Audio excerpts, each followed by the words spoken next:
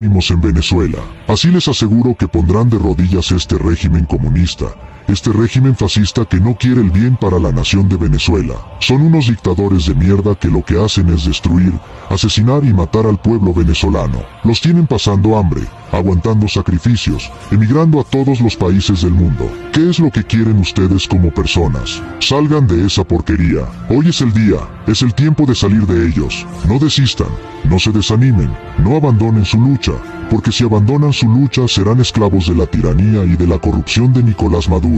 Somos y estamos con ustedes. No nos rendimos. Estamos atacando la base de datos de la dictadura. La lucha continúa. Venezuela libre. Agora, os hackers anônimos revelam segredos do Nicolas ditador Maduro. Será que o Lula está na mira? E quem é o Daniel? Quem é o codinome Daniel que o Bolsonaro tento, tanto falou no passado? Vamos falar sobre isso no nosso vídeo de hoje. Vocês sabem, através dos nossos vídeos, que os hackers anônimos declararam guerra ao regime Maduro. E no primeiro dia eles já tinham entrado em mais de 25 sistemas, depois no segundo dia já eram mais de 325, e hoje os relatos são de que são mais de 500, já penetraram em mais de 500 sistemas, levando vídeos, fotos, documentos, várias coisas. E você sabe do que nós falamos do Daniel. Quem é aqui poderia colocar aí no chat quem é o Daniel? Coloca aí para as pessoas que não sabem quem é o Daniel, coloca aí que é importante que você coloque, coloque isso, né? E a pergunta é: será que o Lula agora está viajando, conversando com os outros ditadores da América do Sul? Será que ele está querendo se livrar? Será que ele quer esconder, fazer algo para que essas coisas não cheguem até ele? Por que, que o Lula continua abraçado com o Maduro, sabendo que nem a Rede Globo o apoia?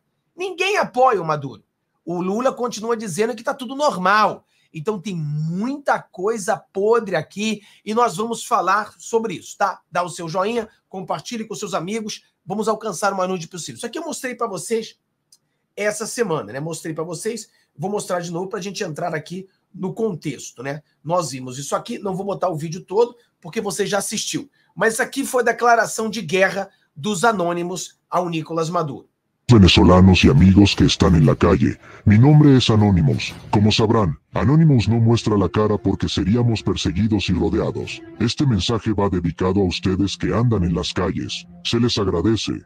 Hermanos, cúbranse la cara para que no sean perseguidos. Entonces, ese aquí fue el momento en que ellos declararon esa guerra. eu lembrei a você que os próprios, esses mesmos anônimos, que são hackers, que não têm, são descentralizados, não tem um chefe, não tem uma liderança, mas eles se unem para lutar no que, que eles acreditam ser algo de errado, eles ajudaram, colaboraram para a queda de quatro ditadores na Primavera Árabe. Quando você lê e estuda sobre a Primavera Árabe, um dos responsáveis que fez com que quatro regimes caíssem foram eles também que ajudaram a população. Então tem relevância, eles podem sim ajudar com que o Maduro caia. Eu terminei a live agora há pouco, não sei se você assistiu, aonde nós mostramos para você que a ditadora ali de Bangladesh fugiu de helicóptero. Ou seja, a manifestação do povo funciona e continua funcionando. Nós precisamos acreditar mais nisso. E aí ele vem e falou isso aqui. Isso aqui foi o outro ponto dele que foi interessante. manipulação e engano, pero não creas que te saldrás com a tuya. Desde Anonymous te advertimos, ten cuidado com cada passo que das, porque estamos em todas partes, vigilándote. Como escutaram? Então aqui ele diz que eles estão em todas as partes, nós somos anônimos e nós estamos a todos os lados, que você tem que vigiar os seus passos, porque aonde quer que você vá, nós estaremos ali. Ou seja, ele ameaça ali, os anônimos ameaçam o Nicolas Maduro. Por isso você vê que o Nicolas Maduro está muito desesperado e ele já começa a dizer que está sendo atacado com os hackers, que ele está trazendo chineses e russos para tentar combater os hackers que estão atacando ele. Então está sendo atacado. E uma das coisas interessantes que mostrou aqui era isso aqui. Deixa eu mostrar para você porque aqui ele fala, né? Ele termina falando, e aí, olha só essa matéria aqui, que é uma matéria interessante. Vamos pegar essa matéria aqui. Olha aqui, ó. Olha essa matéria aqui. como ela é interessante. Aqui a gente para. Olha aqui, ó.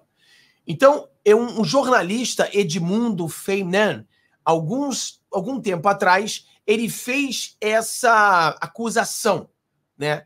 Que o que faltava no governo chavista, né? É, eram os abusos aí das crianças, não vou nem ler para não prejudicar o canal.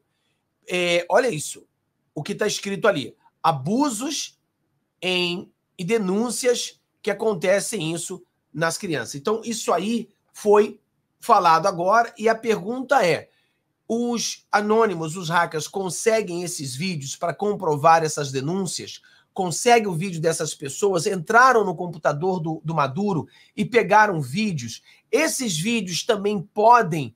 É, existem vídeos também do Lula, existem vídeos dentro do PT. O que, que esses hackers podem obter? E aí, nós resgatamos essa matéria aqui que faz algum tempo e que a gente vai mostrar para você, mas primeiramente, uma notícia muito ruim eu fiquei sabendo agora que esse rapaz faleceu. Esse rapaz faleceu. Muitas pessoas não sabem o que realmente aconteceu, mas olha o que ele estava falando esses dias. Olha, preste atenção no que ele falou. Pegar, por exemplo, o número de pessoas desaparecidas no Brasil é alarmante. Né? Acho que são 40 mil crianças somem por ano no Brasil. Uhum. Né? Contando com adultos, dá quase 80 mil. E para onde vão? Não acho essas pessoas. Né? Eu não posso afirmar mas eu infiro que uma boa parte disso. Então, aqui ele diz né, que 50 mil crianças desaparecem no Brasil. Na verdade, pelo que eu estava vendo, ele errou esse número, porque esse número é, é maior que isso. Olha isso aqui, ó. Crianças. Ah, vou botar aqui, ó.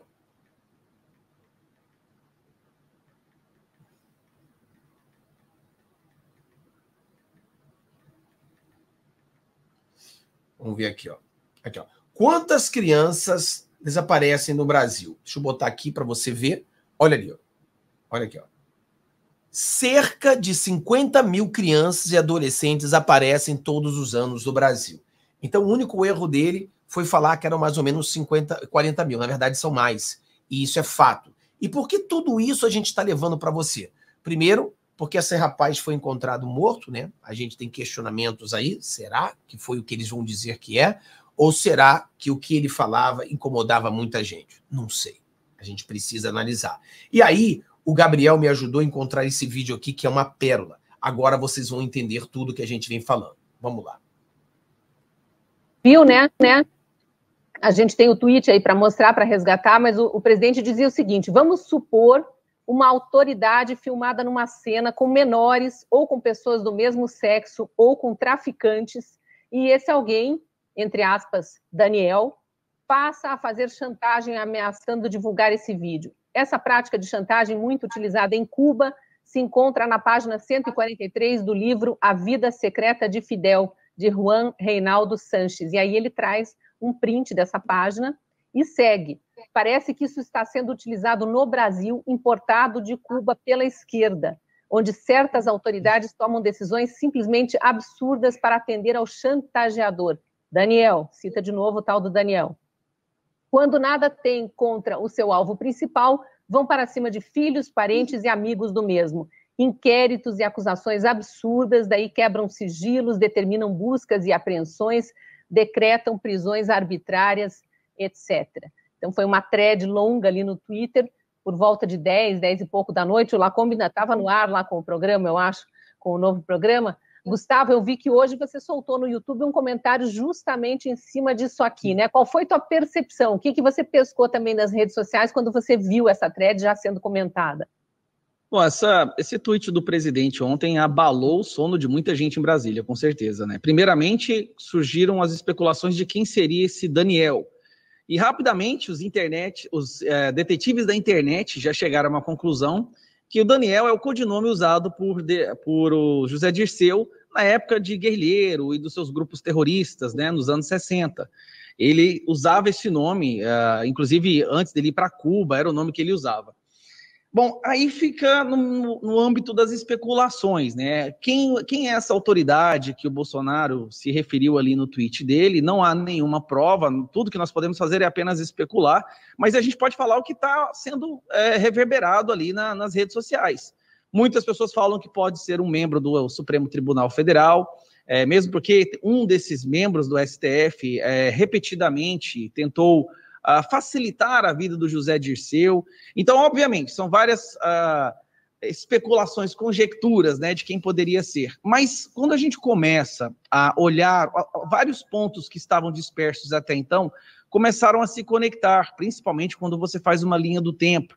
Né, e principalmente agora, nesse momento que a gente consegue que nós estamos percebendo uma interferência acima do normal, que já era anormal, de autoridades supremas na, em relação ao voto impresso auditável, né, de é, ministros do STF convocando presidentes de partido, tentando mudar a formação da CCJ, tentando manipular ali as vota a votação, que inclusive teve hoje e a, a oposição perdeu por um voto, que foi voto relator. Mas, assim, para não me alongar muito, né, nós temos uma ideia do que é que foi, quem é a autoridade, quem é o Daniel. Pessoal, quem é, pessoal? Bota no comentário se você não botou ainda. Vocês estão entendendo? Imagina se os hackers anônimos conseguirem esses vídeos. Esses vídeos estão em algum lugar. Imagina se eles conseguirem esses vídeos. Entenda por que as coisas são tão difíceis. Tem muitas pessoas sendo chantageadas, muitas pessoas sendo compradas.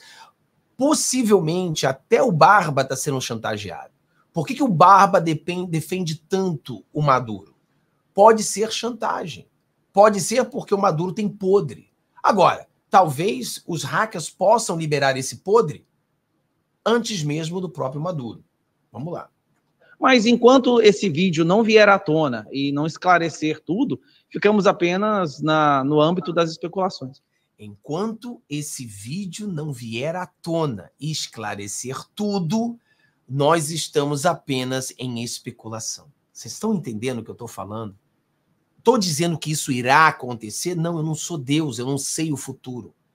Mas eu estou dizendo que existe a possibilidade desses hackers agarrarem esses vídeos. Isso existe.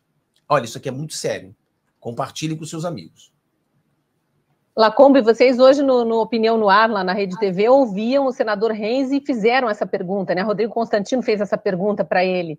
É, eu, eu, percebi que ele meio que se esquivou, e a impressão que eu tenho é que nos próximos dias isso vai reverberar muito ainda, vai ser muito discutido e muito nos bastidores, todo mundo meio com medo de dizer. Mas, na verdade, é o assunto que é, faz a semana começar quente, né? Cris, é, a gente entrevistou o senador Luiz Carlos Reis, do Rio Grande do Sul, do PP do Rio Grande do Sul, é, e ele mais ou menos disse: Olha, eu não duvido de nada, é, é, e é o meu pensamento, eu não duvido de nada. A, a, guerra é muito suja. Nós aqui, nós quatro aqui, nós estamos na luta. Eu fiz até uma coluna para a Gazeta, acho que duas semanas atrás, sobre isso. E a gente vai para o ringue de boxe calçando luvas. Mas é quando você olha do outro lado o adversário usando soco inglês, uma faca na cintura, o que, que você faz? você desce ao nível, ao nível dele, você vai jogar também fora das regras, né? ou você vai tentar obrigá-lo a cumprir as regras e as leis. É, é, é, é uma, uma, decisão complicada, né? porque eles jogam muito sujo. Eu não duvido nada. O rei dos dossiês é o Kim Paim, mas o, o Kim trabalha de outra maneira. Então, ele faz um trabalho de pesquisa muito profundo. Ele não guarda os, os dossiês que ele prepara para chantagear ninguém, para jogar contra ninguém. Né? A gente sabe, por exemplo, fala-se muito que o Renan Calheiros, o senador Renan Calheiros, é o rei dos dossiês, que ele tem dossiês de vários juízes do STF para ter alguma maneira, algum poder de barganha. Se isso é verdade, uh, realmente eu não sei dizer. A gente lembra do caso do, do, do PT, que, que, comprou um dossiê falso contra o Serra, se não me engano, na época. Quer dizer, essa guerra suja, ela existe. Né? Sobre Zé Dirceu, o que, que eu posso dizer? É um guerrilheiro treinado em Cuba, é uma pessoa é, que não dá para ninguém confiar nela, não tem a menor condição de confiar no José Dirceu. E vocês têm que lembrar que há pouco tempo ele deu uma entrevista, se não me engano, para o El País, dizendo que nós vamos tomar o poder, que é diferente de ganhar a eleição. Quando eu olho, eu chamo de chiliquito, que é a mistura de chilique com faniquito, quando eu olho o que o Barroso tem feito contra o voto auditável, contra a proposta de emenda à Constituição do voto auditável, eu fico desconfiado. Esse papo de la garantia soi Joe, por que isso? Por que você não pode é, é, trabalhar para dar mais transparência às eleições? Isso é um instrumento que partidos de esquerda defendiam, o PDT defendia, Ciro Gomes defendia. E de uma hora para outra, né, há um movimento contra o voto auditável. E há um processo. Pessoal, você vê que o que eles estão falando aqui é algum tempo atrás, mas tem tudo a ver com o que está acontecendo agora. Olha o que eles estão falando. La garantia sou eu. Olha o que aconteceu na Venezuela. Os vídeos, se esses vídeos forem revelados, se os anônimos encontrarem esses vídeos, olha lá, pessoal, vamos lá. É isso sim, né? O STF faz uma faxina geral é, é, na ficha criminal do Lula, o que não o torna a pessoa mais honesta do mundo, nem mais competente, absolutamente, mas ele está liberado para concorrer. De repente, é, grande parte da mídia começa a realmente absolver o Lula e considerá-lo considerá uma opção. Isso é muito estranho. De repente, surgem, surgem pesquisas eleitorais mirabolantes, muito estranhas. Então, a gente pode olhar assim, é, é, de um modo geral e ver o processo em andamento. Então eu não duvido de nada, assim. Acho que no meu caso, se eu fosse presidente, eu não falaria disso. Mas que pode haver, pode haver. Você não, você não vai duvidar disso, né? É, um, é como disse, uma guerra muito suja. É uma guerra muito suja. E chantagem, é, infelizmente, faz parte dessa guerra. E você lembrou aí do, do ministro Barroso, que é, obviamente, é o, é o presidente do Tribunal Superior Eleitoral, então é o que encampa as, as campanhas contra o voto auditável, inclusive em inglês, em espanhol, em... Oh, nem lembro francês, francês né? Então você vê, pessoal, muitas grandes mídias agora estão dizendo que eles conseguiram provar que o Maduro roubou essas eleições através dos votos impressos. Os mesmos votos impressos que alguns eram contra. Os mesmos votos impressos que alguns foram até fazer campanha contra e aonde saiu esses vídeos dizendo que talvez, talvez algumas pessoas estejam fazendo isso porque existem alguns vídeos. É isso que está sendo falado. Esperarmos aí, né, ver o desdobramento disso. Eu acho que é muito cedo de fazer qualquer afirmação. Eu acho o seguinte, algumas coisas que dá para bater o martelo. Eu não acho que Bolsonaro fez essa postagem apenas para dar uma aula de história, uma aula sobre como funciona o pessoal lá em Cuba. Ele está falando de Cuba lá, ele cita o nome. O que Bolsonaro quer falar com isso, ninguém sabe. É, eu acho, às vezes, também preocupante o seguinte: quando você vê que muitas pessoas criticam a oposição, pessoas que discordam delas politicamente, acabam pegando a mesma situação e criando todo aquele caos, fazem, fazer vários comentários como se fossem afirmações, levam algumas coisas para o lado pejorativo, o que não ajuda, principalmente quando você lida aí com agentes políticos, principalmente quando é gente grande no pedaço. Acho que não é bom, acho que esse não é o melhor dos caminhos. Por outro lado, tem uma coisa também é interessante de ver, que é o povo se dando ao trabalho de pesquisar, um trabalho de pesquisa, entender a história, pensar quem poderiam ser os agentes políticos, o porquê, e atrás realmente da história do Brasil, quem é quem, onde, como as coisas chegaram até o ponto de hoje. Você também consegue perceber que as pessoas adoram assim uma história cabeluda, se é que pode falar assim. Ontem eu lembro das redes sociais, eu tinha feito assim um comentário assim de brincadeira, irônico, falando assim, ó, quem já assistiu One Piece, que é um anime, sabe o que vai acontecer agora. Nossa, choveu de curtidas, comentários, o que, o que, o que. Não estou assistindo aqui no YouTube agora para tentar descobrir. Eu falei, aí eu depois falei, gente, é só uma brincadeira, é de noite, vão dormir. Ninguém vai saber o que vai acontecer agora. Todo mundo quer bater o martelo, todo mundo quer assim, quer consumir informação, todo mundo quer estar informado, quer chegar a uma conclusão de algo que às vezes foi uma postagem, a vida seguiu, ninguém sabe para quem realmente foi endereçada, ninguém sabe se vai ter um desdobramento, mas não querem solucionar, querem chegar ao fim da conclusão, que às vezes acaba sendo. E aí, pessoal, a... é o que a gente fala, né? Os, os anônimos, eles poderiam resolver isso rapidinho e mostrar. Eles se referiam a esse vídeo aqui. Jovens, a única coisa que eu digo para eles é o seguinte: tomem o poder, lutem. Partido político é disputado. Vai ter congresso agora. Filie milhares de jovens do PT. Porque o PT precisa começar a fazer consulta por aqui. Nós temos 700 mil filiados aqui. Por que aquele. E mobilização por aqui também. O Lula chamou a luta contra o juro alto, chamou a luta pela reforma tributária, chamou a luta contra a desigualdade. O que, que nós fizemos? Então, nós temos, tem algum problema. Nós temos que debater isso agora. Depois, agora tem que ganhar a eleição. Agora eleger vereador e prefeito, fazer disputa com a direita, isolar a extrema-direita, porque nós temos que derrotar a extrema-direita. Onde nós temos um candidato forte, é o nosso. Onde nós não temos, se tiver um de direita civilizada, é ele. Porque nós não podemos deixar o bolsonarismo crescer. A vida é assim, dura. Tem hora que a gente tem que fazer essas opções. Então você vê, muito interessante, né? Tem que tomar o poder, tem que fazer tudo isso, mas o ponto aqui é essa guerra agora com os anônimos, com o Maduro, pode chegar no Lula? Só o tempo vai dizer isso pra gente, tá? Então Deus abençoe vocês, tenham um dia maravilhoso. Vejo vocês às 6 horas da manhã com 22 minutos com o Fábio. Um abraço, tchau, tchau. Te vejo mais tarde. Assista agora, se você não assistiu, a nossa live no nosso outro canal. Se você não sabe, nós temos dois canais. Tem um outro canal aqui que nós fizemos uma live sobre a queda do ditador, tá bom? Vamos lá.